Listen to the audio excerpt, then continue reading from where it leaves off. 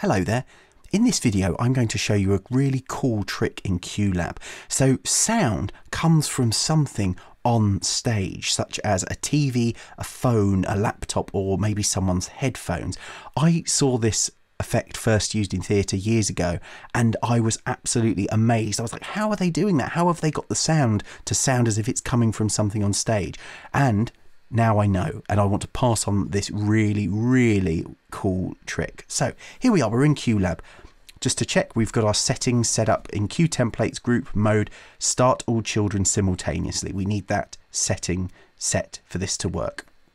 So I'm going to put in some groups, three groups, because I know I want to do three cues. This is going to be Q1, and this is going to be a club track. And the Q for this is going to be Dave saying, Let's party. Fantastic. Good old Dave. Q2 is going to be uh, Club 2 headphones. And that can be when, let's say, Harry enters stage left. And then we want to do Q3 uh, stop headphones.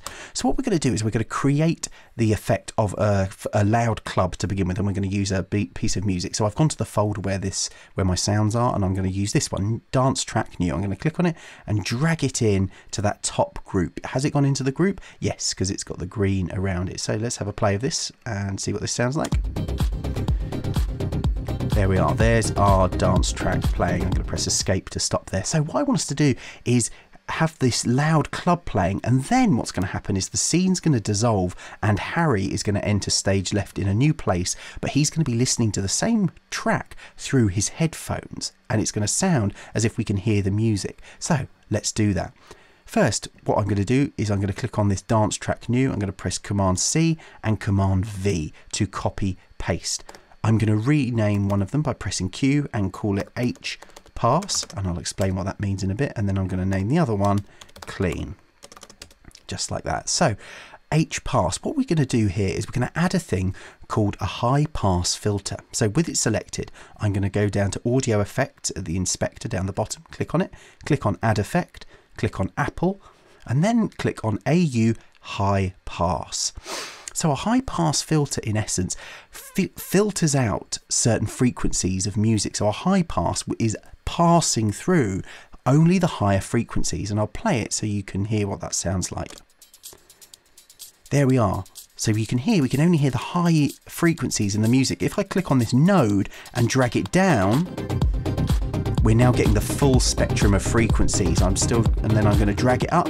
So we're just allowing to pass the high frequencies just like that. So it sounds as if it's coming from someone's headphones. So it's really, really tinny. So I want to have it just like that. So I've got that selected. I'm going to press cross on that and then I'm just going to press escape to pause that. So the high pass filter, we've got that um, applied and then I want to go to audio levels and drag that down to nothing. So what we have is the clean version playing and the high pass version playing at nothing. Next, I want to add in two fades to these. So I'm going to click on clean, press Command and 7, and that adds a fade to that. And then I'm going to click on the high pass and press Command and 7 on that. Then I'm going to click on the two fades, uh, press click on the first one, hold Command, click on the next one, and I'm going to drag them into the next group. So this is going to be part of Q2. So what do we want to do with these fades? I'm going to click on the clean one. And what I want to do down here in the bottom, check it's an absolute fade. I want to stop target when done. And then I want to click in this master fader there and we have it as minus inf. And the time of this, the duration, I'm going to press D, uh, and I want this to be about, let's go with about, uh, let's go with about seven seconds on this one. Next, I want to do the fade for the high pass track. So absolute fade is right. We don't want to stop the target because we want to keep that music playing. And we want it to be at about, let's go minus 20. So it's going to actually fade it up to minus 20. And crucially here, we want it to be the fade to be a bit quicker or shorter than the fade out cue so it doesn't uh, overlap. So three seconds to seven seconds, that should work. All right, let's have a little go. So we're going to have a listen to the club track and then we're going to hit the next cue where the two, two versions will crossfade and it'll sound as if we're going to hear Harry listening to the same piece of music through his headphones.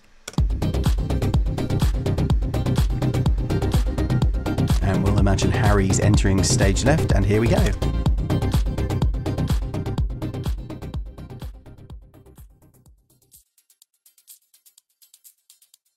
And there we are, you can hear the tinny sound like it's coming through headphones, and that's still playing. And then we can just put in a little stop cue by pressing, uh, clicking on stop, putting it into this new group. And then I just need to choose which track it's targeting. I've dragged that into that and hit stop.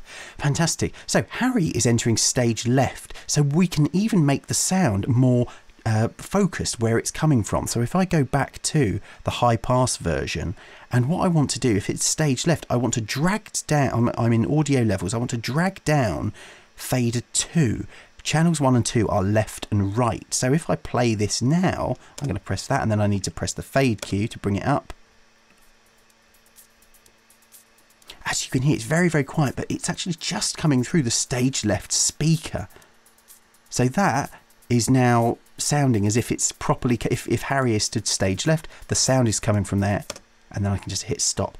So that's if it's imagining that the sound's coming through headphones. What if it's something like coming through someone's laptop or phone? So there's a little bit more sound coming through. Well, what we can do is adjust the high pass filter.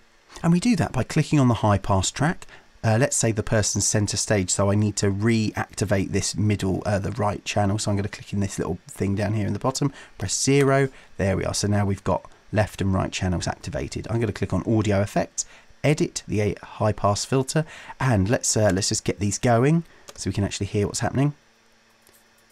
So I'm going to drag this node to the left.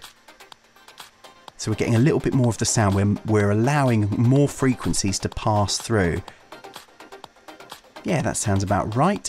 Um, and let's let's imagine, let's make this slightly louder. So minus 20 was good for headphones, but let's make this about minus, minus 12. Let's see how that sounds. Okay, so everything else is fine. Uh, and we'll just go club to laptop.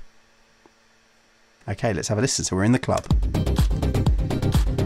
and we'll imagine that this scene then dissolves and then a new character enters and we're in his flat and he's listening to the same piece of music on his laptop.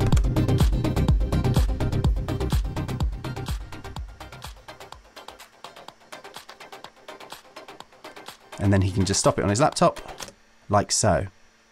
So there we are. That's a really cool effect if you want the sound to sound as if it's coming from a TV, a phone, a laptop or someone's headphones. You can use those left and right channels to determine if the sound's coming out of left and right, if you have a basic stereo setup.